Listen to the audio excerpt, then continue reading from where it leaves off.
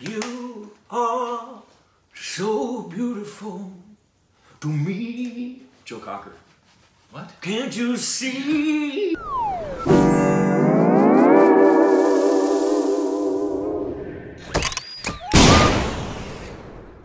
Hey, welcome back to our Stupid Reactions Idiots. I'm Korbin. Ashley! Uh, please follow us on Instagram, Instagram. on Twitter for more Twitter. juicy content. It's so juicy. Thank you for support us on Patreon. Exclusive content on there, blocked content. Uh, everything on there is up there before it's on YouTube. So if you see a comment from two days ago, it's because they're from Patreon. Yep. But today, uh, we are doing the Brown Girl's Guide to Beauty. The and Brown Brown Girls? Girl's Guide to Gender in the last one. Which you didn't see, I did not. so you don't have any idea what's coming. Sorry, yeah. So we're not going to say anything because it took us by surprise. Yes. I'm We'll say that ready. much. It's a, it's poetry though. Uh, Yeah, we knew that. We knew it was poetry, but what we didn't know Um, is And there were some Anything else? comments by some very ignorant people in the last one. I will block you and delete your comments, just so you know. yeah. Let's I- go. yeah, yeah. Well, we'll talk about that after. Oh wait. Oh dear. Oh, ah, Wait. God, what happened? Oh What happened? no. What did you do? Oh, it's coming. Here we go. It's fine. Oh, we're fine.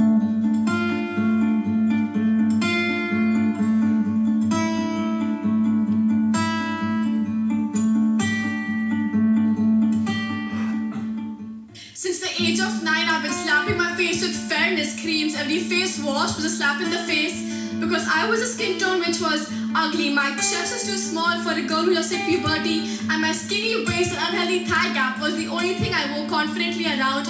I had a voice and opinion, but they muted my sound, probably because I was told boys only like girls who were fair and lovely. Mm. My cousin brother starved himself because skinny abs were easier to obtain on a healthy diet. He read about actors doing juice diets and decided he wanted to try it. All because there wasn't a single GQ or man's world that didn't have abs and boss. We forget that beauty for men also comes with a cost. I had asked for a penny for your thoughts, but I heard being healthy is wealthy, and it's both we've lost. Hmm. I am the color of the strong fragrant tea. Auntie sips are nonchalantly remarking, Bipasha would be prettier if she was fair. The color of our skin dictates our beauty, and that's not the only thing that's unfair. When we brown girls revolt against our own reflections, every single time an Indian magazine puts a light skinned girl on a cover calling her brown. I asked my mother to get me haldi, yellow paste over yellow paste, because anything is better than brown, anything is better than dark. Only light skinned with European features are considered art. My friend's face is covered with cream more than his girlfriend's kisses. He flinches every time she says she accepts him for his true colors. How do I teach him to embrace the color of his skin when she keeps gifting him fairness creams? His daily baptism with sunscreen to protect him from suntans. Men lathering themselves to the same behind closed doors because apparently being insecure makes you less of a man. When I was asked to be an ideal body type, I was taught they want the curvy chick but not the cellulite. They want the big butt but not the thick thighs. Ah. They want the top small but the waist smaller. They want the heart big but the chest bigger. And often women of gender reiterate these thoughts, but you see, it's internalized. It's what we've been taught. So I asked my mom, instead of looking for grooms who are fair, let's look for grooms who treat people fairly. Because the color of someone's skin is what we should consider when we look to marry. Virtues, belief, opinion, and decisions scale larger than his stand on a fairness scale. Forget Snow White, say hello to chocolate brown, and write my own fairy tale. There isn't a single person who isn't pulled apart by these expectations. Brown girls talking getting the right foundation, boys constantly doing weight calculations. We're all more than our coloration and body types, cause you and I, we're all alike. With the hope of being able to someday love another, let's begin by being our own first lovers. Because people aren't made to fit or custom made, it's time we realize love comes in all shapes and shades. Amen. It's time we loved all shapes and shades. Wow.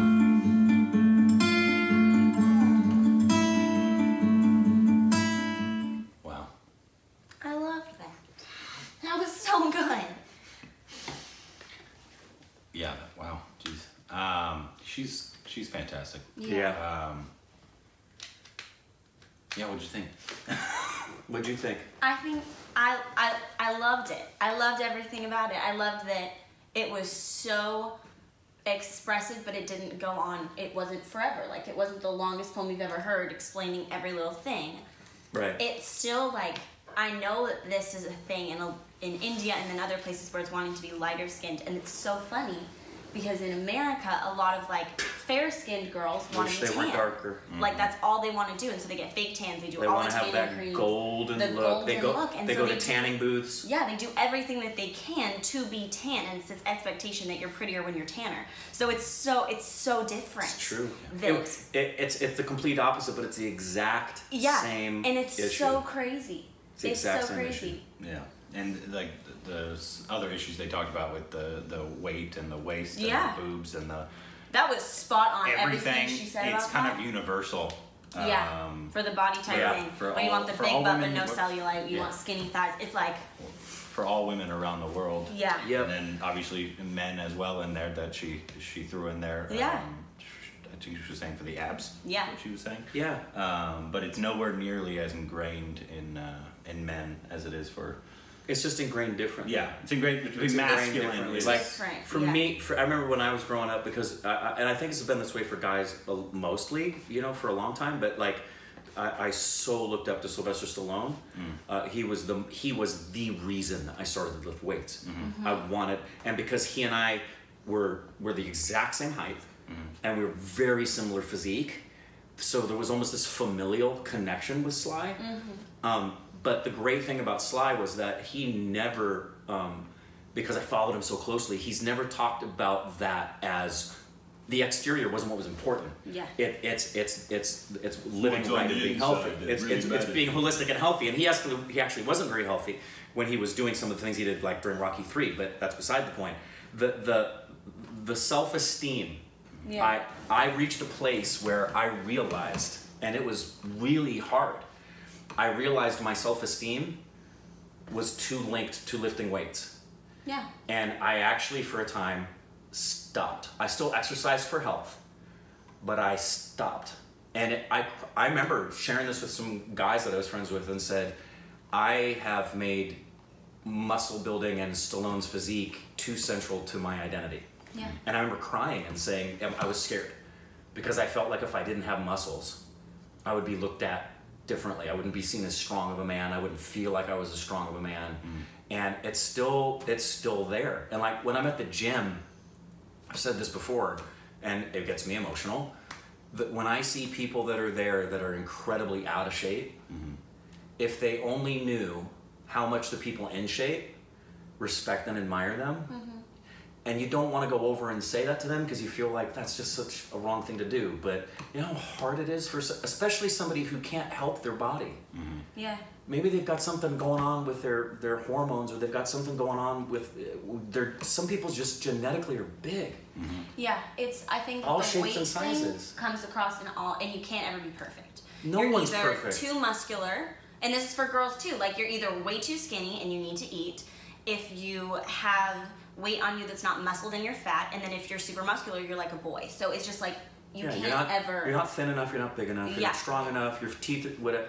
and it's so sad because there some people will have their ideas of perfect but for someone else that perfection is oh no you're too skinny oh no you're too fat oh no it's too that so it's just this expectation put on everybody that no one's ever okay with other people or themselves The the thing that needs to change it is not just each person. Mm-hmm. I mean, it has to start there. yeah But the biggest problems with this are media, entertainment, yep in propagating the lies that um, this is what this is what beauty this is is what beauty is. subconsciously and consciously like even the specific people you see on the covers of magazines and Luckily, it's changing. yeah It is thankfully changing it is slowly. It- a lot of is actors progression and models say they, they won't do photo shoots if it's ever um, gonna be photoshopped. Photoshopped. They're doing less makeup, yeah, but you've so got to be in. real. You see, you can't. That's a very slim margin though, Yeah. because Yeah. those are the only the people with the power to say, "Hey Vogue, I'll do your cover, but we're doing it my way." exactly, Yeah. but all Most people Vogue Vogue will say, "Yeah, no." yeah, and they don't have an option. technically like we could go out for a modeling job and we wouldn't have that power No. to tell them anything they No. can do whatever they want we sign a contract and they kind of do whatever course. they want Right. And they make us So. look completely different than we Yeah, actually are in real life. exactly. so it's only the, the, the people at the top who, who it's, it's important for them to take a stand um, and do the right thing but, But it, yeah. it's sad how long it's taking. I had someone Yeah. message me on Instagram about their skin color because of the video we had done about that, and how, like she was saying, in the video, the kinds of things that has to be dealt with, and family members saying you're too brown. You know, having your Yeah, mom say having to you, people say that. you're to you. you're too brown. Mm-hmm. You'll never marry that kind of guy. You're too brown. Family members and stuff. And I Family actually do that here I- too. Oh, they do. But I had here, here's the thing. I had to say to them something that was said a long time ago. Somebody once said, "Don't judge people by the color of their skin, but by the content of their character." Yeah. And that was Martin Luther King Jr. during the civil rights movement of the Yeah. 1960s, who he had the balls to say that, and he was shot and killed. Um, and now we're still having to say that to people. Yeah. Like it's still a problem. We're still we've come a long way, Yeah. but we got a long way to go. Uh, a lot of issues. Very, long, very long, small steps long way to moving go. In But the right direction. This this girl, she's a fantastic. poet. Fantastic. Uh, Fantastic. I don't know if she does anything else. If she's like an actress, uh, or How old or, is she? or what she is, but uh, You know, you know what I like best about her. I don't know if she's just a poet. What I like best about her poetry, aside from the poetic nature where she links some things together powerfully with the English language, yeah. she's able to present the problem without going on some kind of a tangent that Exactly. seems like she's trying To convince you. convince you, or even more, she's trying to convince you. But what I don't get from her is that she's got this real axe to grind, and Yeah. she's gonna go. She's gonna go get revenge on the people that treated her badly. Yeah. Some people do that with their art. That's very true. And she She doesn't she's do that. just expressing it. She is just talking Passionately. Yes. It needs to change. Like Martin Luther King would. Yeah. He had no bone to pick with anybody, but he was gonna It stand at wasn't the line. like you're bad, you're bad, you're bad. you can it beat was, me. Yeah, but still, people that they think that anybody talking about a problem that I know. they don't see as a problem, they think they're just playing the victim. I know. Uh, which is comments we got in the last one. I'm sure we'll get comments in this one, and you'll be blocked. Don't worry.